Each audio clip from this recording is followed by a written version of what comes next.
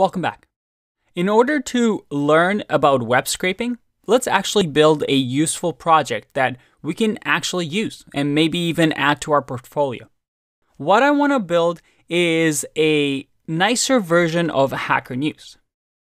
You see, every morning as a programmer, I wake up and I usually read Hacker News because it's a great way for myself to stay up to date with the industry and just learn about general programming news.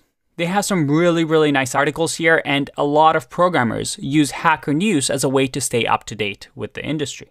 This page has a ton of information.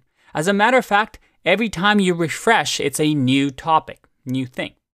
If I go to the new tab here, for example, you see that these stories, as I refresh, new stories get added constantly. So it's a very fast paced website because a lot of people post news links here to get traction because there's so many readers here.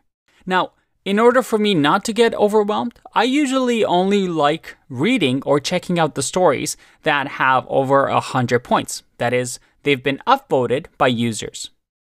So let's build a tool using web scraping that when I wake up in the morning, instead of having to scroll through and find out all the stories that have over 100 points, because those are the most popular ones, maybe the most important ones, let's scrape this data and then remove all the stories that, well, have less than 100 points so that I can only focus on the important news articles.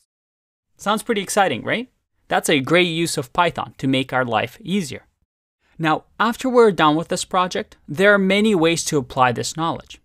For example, one of the things that Hacker News has is every month they have a Who's Hiring, where companies post job opportunities for programmers. So, a good project might be to actually scrape this data of companies posting different job opportunities and maybe try and figure out what the trends are. What type of programmers are the most in demand? Hey, are Python programmers the most in demand? Maybe by scraping and finding how many times the word Python gets mentioned?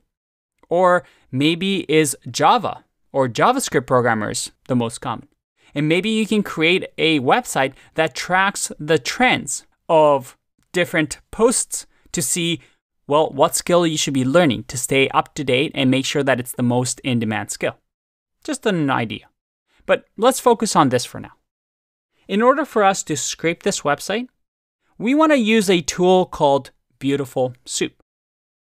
And Beautiful Soup is what we can use in Python. It's a library that we can use in Python to scrape websites.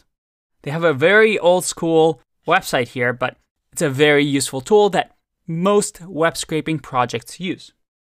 So in the next video, we're gonna get our hands dirty. We're gonna learn about Beautiful Soup and start creating our web scraping project with Hacker News. Let's get started.